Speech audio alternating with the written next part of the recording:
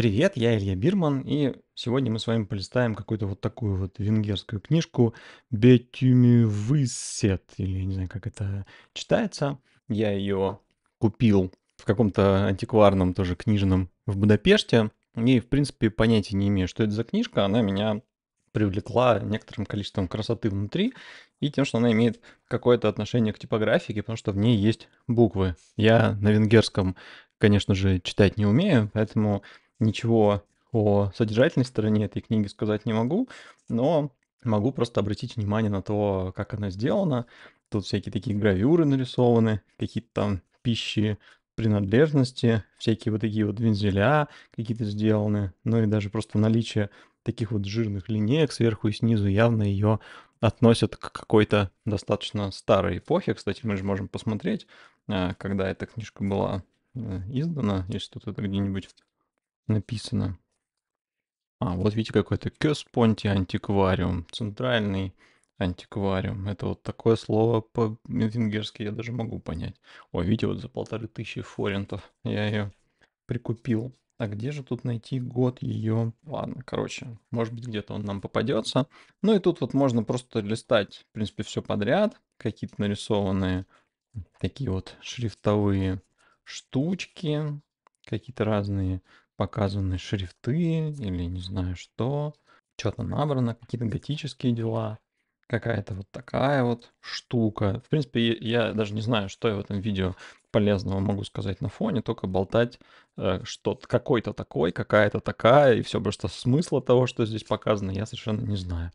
Ну вот, красиво набран плакат. Прям можно брать такой дизайн и использовать для какого-нибудь современного плаката, взять какой-нибудь акцидентный шрифт, им набрать основной текст вот так вот жирно, потом какую-нибудь подпись и там снизу какие-нибудь, не знаю, там обязательные юридические дела дать. И вот тебе готов красивый плакат.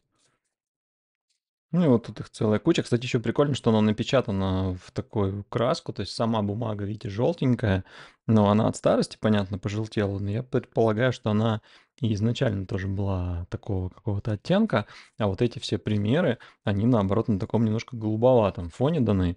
Думаю, что это все неспроста. Ну, вот еще какие-то шрифты, какое-то построение букв. Надо же было так заморочиться, чтобы каждый номер страницы обронить какими-то еще двумя финтифлюшечками. Очень тонкая бумага, прям сложно листать по одной. О, тут, видите, видимо, показаны какие-то выпуклости, вот эти торчания за строку объясняются, всякие типографские э, и шрифтодизайнерские дела.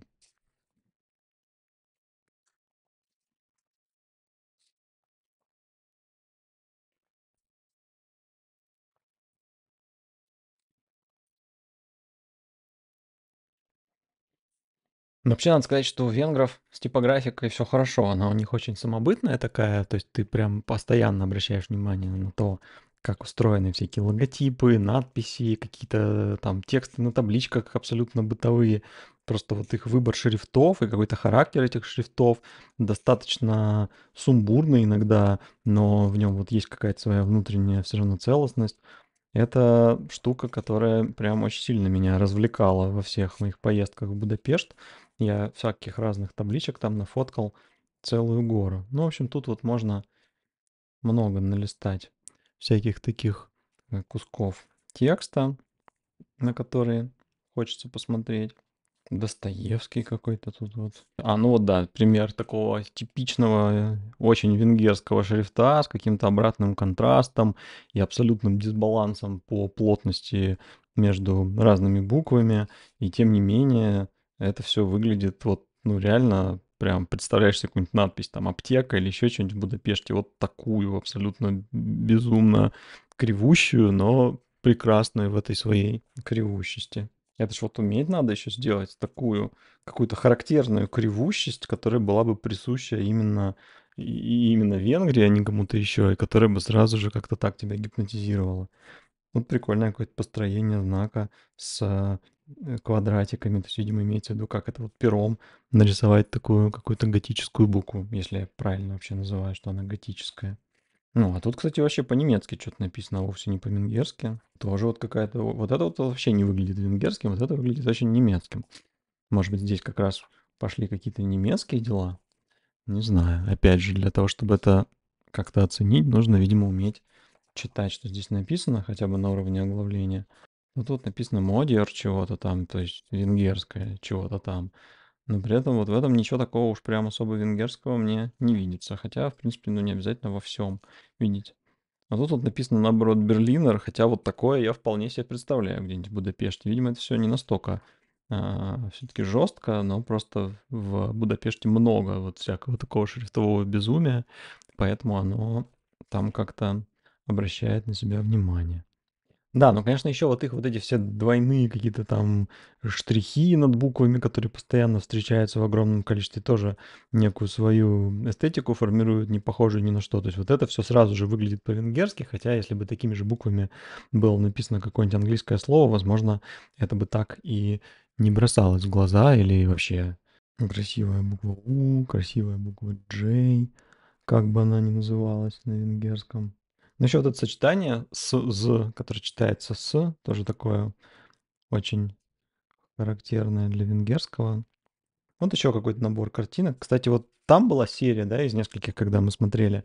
Они вот, видите, подряд идут. То есть это, видимо, какой-то другой способ печати. Соответственно, эти листы, они почему-то сшиваются рядышком, уж не знаю почему. И тут другой оттенок синего. Тут он такой более э, какой-то сиреневый, что ли, я бы сказал. На вот этих вот каких-то тоже плакатах или что это. Вот это шрифт вообще. Или вот это. Или вот такая вот торчащая фигулина над буквой. Даже невозможно понять, что это за буква, но выглядит, конечно, кайфово. А как вам такая W? А как вам вот такое вот залезание букв друг на друга с э, инверсией цвета? А, ну это опять серия картинок. А, ну вот тут как раз видно, что это вот на таком сиреневом фоне, да, а тут вот опять на светло-голубом, как было в начале.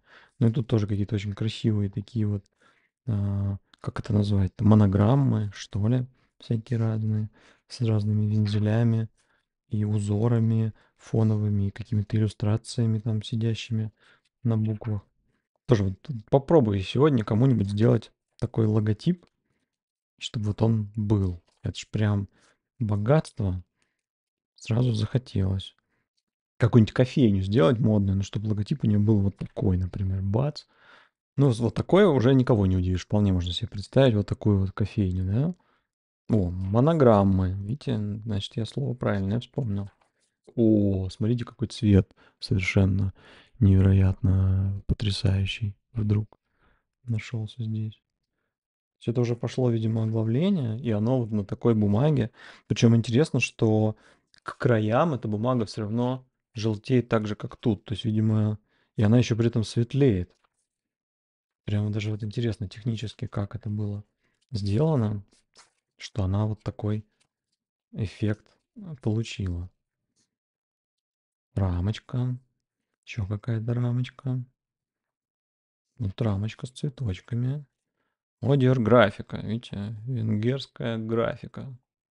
А тут что-то уже Бергер чего-то. То есть это по-немецки вдруг. Ну да, видимо, это что-то где-то между Венгрией и Германией эта книжка возникла. Ну, что-то отвалилось даже от нее. И вот видите, какой тоже узорчик прекрасный на фоне стоит. Вот такая вот книжка. На этом мой не очень содержательный, прямо скажем, обзор закончен. Не забывайте ставить лайк, подписываться на канал, ну и, конечно же, а, оставлять какие-нибудь полезные комментарии. Всех обнимаю. Пока-пока.